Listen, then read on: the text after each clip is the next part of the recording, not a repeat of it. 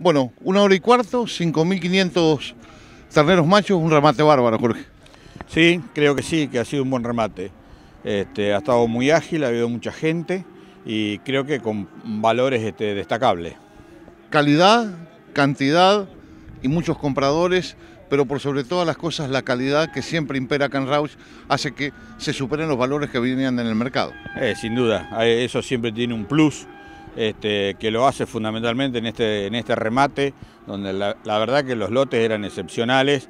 Este, bueno, cuando la gente, los compradores que saben más de esto que, nosotros, este, los ven, realmente merecen algún pesito más. El año pasado la media era en 4 mil pesos un ternero. Este año la media fueron 4.800, bordeando los 5.000. Habla de que un mercado sigue siendo tomador, pese a que todavía el gordo no ha, no ha recuperado tanto de lo perdido. Y sí, nos falta el saltito ese, nos falta el, salto de lo de gordo.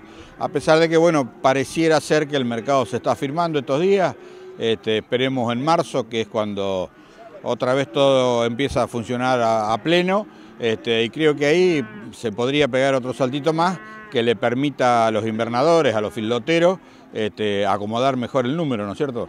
160 remitentes, habla las claras de la confianza del productor para usted. Sí, para nosotros eso es, un orgullo, ¿no? Eh, que la gente confíe en nosotros y nos permita hacer este, este tipo de remate, este, realmente es una gratificación fenomenal.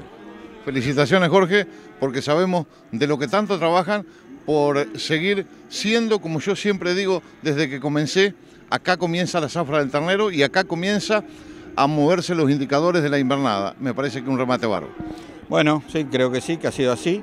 Este, así que yo ya te digo, quiero, este, nosotros nos sentimos orgullosos de poder haber hecho esto, pero indudablemente las felicitaciones no son para nosotros, sino que son para los verdaderos creadores de estos terneros que ofrecen esta mercadería y nos permite a nosotros eh, realizar este remate. Así que quiero hacer en este caso un agradecimiento muy pero muy especial a toda la gente que nos ha remitido.